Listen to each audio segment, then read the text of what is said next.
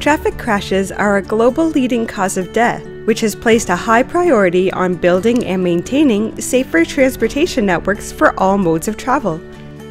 Historically, safety assessments have been reactive, with limited and out of date data based on incidents that have already occurred. Miovision Safety Studies provides a proactive approach by analyzing near miss events to show the risk of impacts before they occur. Our near miss technology uses multiple factors such as speed, impact angle, and vulnerability to flag the most critical movements, prioritizing life over property damage. These risk indicators are able to predict injury collisions with 94% accuracy. And with so many data points, the impact of improvements can be measured after only a month rather than waiting years for crash data. Our safety report breaks down up to 60 independent movement combinations, giving you an overview of the intersection as a whole, as well as a breakdown of each movement combination for a full view of the most critical risks.